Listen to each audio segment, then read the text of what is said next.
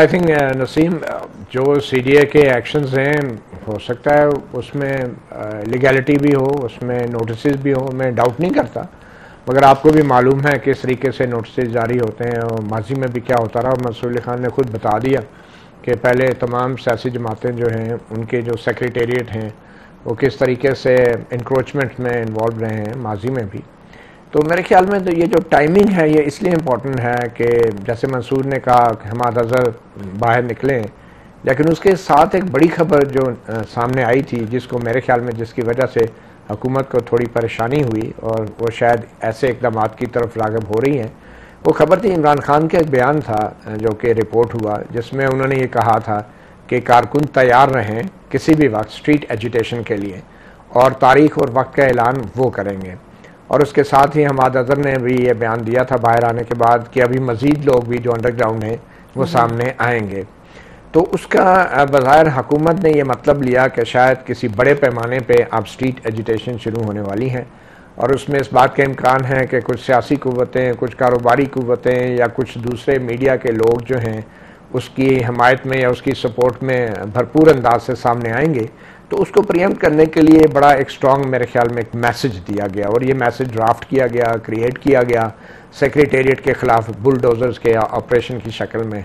और मैसेज यही है कि किसी भी इस किस्म की जो एजुटेशन है या अगर लोग मज़ीद अगर इस तरह बाहर आएँगे और लोगों को बाहर निकालने की कोशिश करेंगे तो उन्हें इसी तरह बुलडोज़ किया जाएगा जिस तरह पीटीआई के दफ्तर की जो इमारत है उसको बुलडोज़ किया जा रहा है। तो ये एक मैसेज देना मैं समझता हूँ, मकसूद था यहाँ पे और एक्सपेक्टेशन यही हैं कि जो इस्टेब्लिशमेंट है, वो भी ये मैसेज देना चाहती कि हमारी किसी किस्म की कोई कंप्रोमाइज़ नहीं हो रही। क्योंकि ये भी कुछ सर्कल्स में स्पेकुलेशन हो रही थी कि शायद इस्टेब्लिशमेंट और पीटीआई के बीच कुछ रबते बहाल हुए हैं।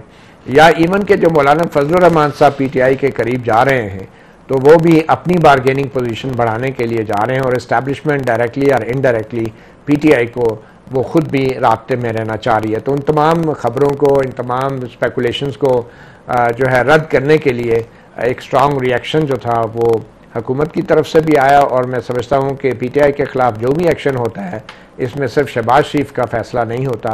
इसमें जो दूसरी जो कुतें हैं ख़ास तौर पर इस्टबलिशमेंट उसकी मर्ज़ी के बगैर कुछ भी नहीं हो सकता।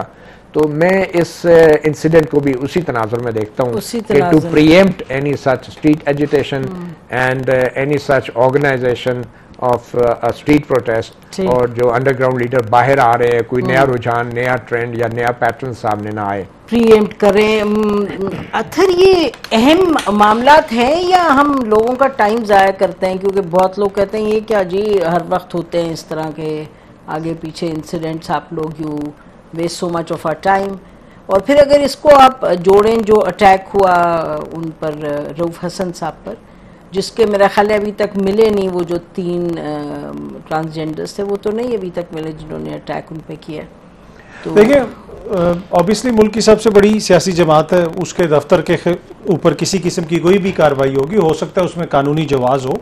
वही दफ्तर है एक दिन पहले वहाँ पे अकवा मुतहदा का वफ्त बैठा हुआ था तो उस दौरान भी पुलिस वहाँ पे आ गई। तो मैसेज क्या ये देना था कि भाई बेशक आप अकवा मुतहदा के साथ बैठे बातें कर रहे हैं वी डोंट केयर अगर हमने किसी को पकड़ना है हम आदर साहब को पकड़ना है आइन और कानून के मुताबिक तो हम यहाँ आ जाएँगे। पुलिस आ गई इंतजामिया ने पुलिस वहाँ पे भेज दी।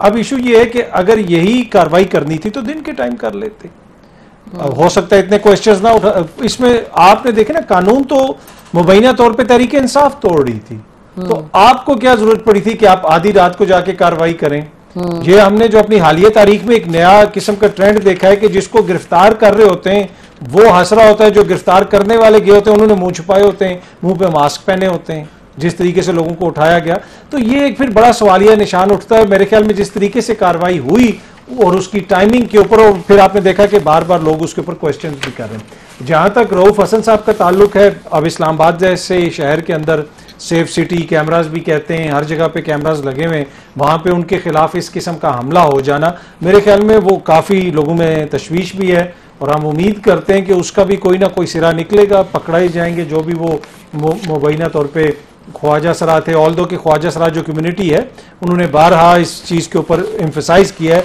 कि हमारा कोई भी बंदा इसमें मुलविस नहीं था, हो सकता कि वो सिर्फ़ ऐसे कपड़े पहन के आए हों। लेकिन ये जो तलखी है सारे सियासी माहौल की, ये उस चीज़ को रिफ्लेक्ट करती है कि जनाब चीज़ें अभी उस तरफ़ नहीं जा रही, जहाँ पे आप ये कहें कि यहाँ पे अब कोई पॉलिटिकल सेटलमेंट होने वाली है। बहुत सारे दोस्त बार बार ये कहते रहे कि एंगेजमेंट हो रही है एंगेजमेंट हो रही है। मुझे नहीं लगता कि ये जो चीज़ें हैं, इस वक्त पॉलिटिकल एंगेजमेंट की तरफ़ जा रही हैं और ना ही ये मुझे चीज़ों की इंतहा लगती है। This is somewhere between the इब्तदा एंड इंतहा। अभी चीज़ें हो सकता है कि और अगली शक्ल इख्तियार करें।